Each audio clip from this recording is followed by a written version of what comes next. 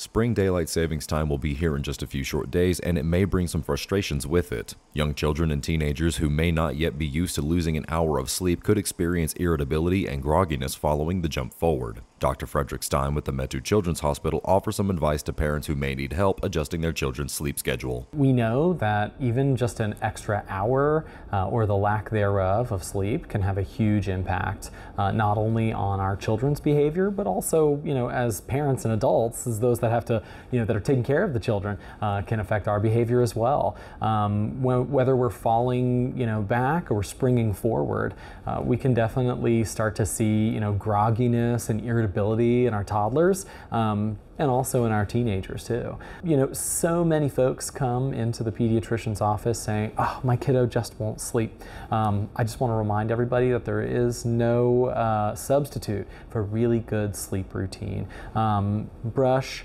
bath, bed, the three B's, all right? Even for our teenagers, it's really important to make sure that they have a routine. When we have a routine, we get better sleep. When we get good sleep, we're better people. Make your ride one of a kind and see the experts at J&M Custom Auto and Off-Road. It's your customization candy store. Visit jmcustomauto.com and select your make and model. It's that easy. Window tinting, remote starts, leather interiors, sound systems, front and rear bumpers, spray in bed liners, bed covers, wheels and tires, lift kits, step rails, even underglow light kits, and so much more. If you can dream it, we can do it at J&M Custom.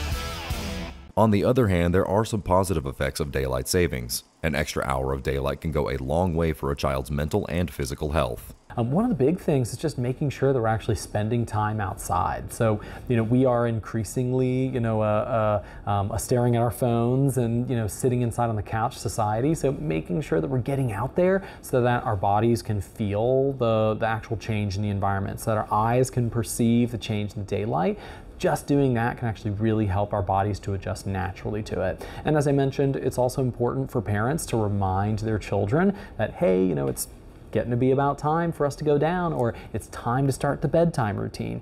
Generally speaking, when we start that bedtime routine, we start sort of telling our children's brains that it's time to wind down. If we adjust the bedtime routine to a different time, our children's sleep habits will also adjust. Reporting for Mountaintop News, I'm Nick Collum.